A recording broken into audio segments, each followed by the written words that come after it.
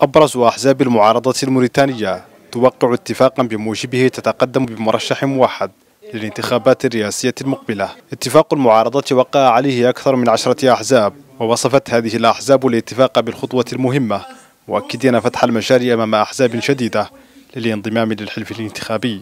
هذا القرار الكبير اللي ظاهر انه يفتح للشعب الموريتاني أمل ان التغيير التغيير من خلال التناوب السلمي على السلطه ممكن وهذا بالطبع هو اللي واحدين فيه.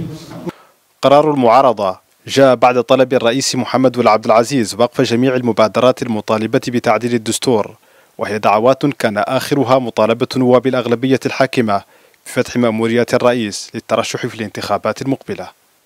ندعوكم جميعا لمواصلة التعبئة ويبقى اجتماعنا هذا مستمرا. حتى تتحقق إرادة الشعب الموريتاني بترشيح خيارنا السيد محمد العبد العزيز في الانتخابات الرئاسية المقبلة.